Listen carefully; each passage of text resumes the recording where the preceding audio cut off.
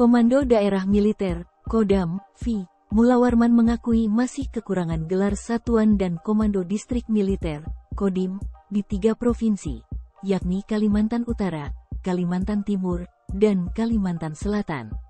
Dilansir dari Kompas.com, hal itu disampaikan Kepala Kelompok Staf Ahli, Kapok Sahli. Panglima Kodam V, Mulawarman Brigjen Ivansius Siagian dalam webinar, IKN dan Mitigasi Radikalisme Terorisme, yang digelar Sekolah Kajian Strategi dan Global, SKSG, Universitas Indonesia. Penguatan gelar satuan dan penambahan kodim itu diperlukan untuk mengantisipasi ancaman, terutama ancaman ke Ibu Kota Nusantara atau IKN Nusantara di Penajam Pasir Utara, Kalimantan Timur. Ivan mencontohkan di Kabupaten Mahakam Ulu, Kalimantan Timur, wilayah yang berbatasan dengan Malaysia. Di lokasi tersebut belum memiliki gelar satuan yang memadai.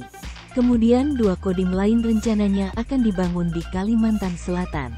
Adapun dari sisi personel Babinsa, Ivan menyebutkan bahwa Kodam V, Mulawarman kekurangan 596 personel. Dalam kesempatan yang sama, Ivan juga menyebutkan, setidaknya ada tiga kejahatan yang berpotensi masuk ke IKN, yaitu penyelundupan narkoba, radikalisme, dan terorisme. Ivan juga menyebutkan bahwa Provinsi Kalimantan Timur dan Kalimantan Utara masuk lima besar wilayah rawan aksi radikalisme. Sebab, dua provinsi itu berbatasan langsung dengan negara tetangga, Malaysia.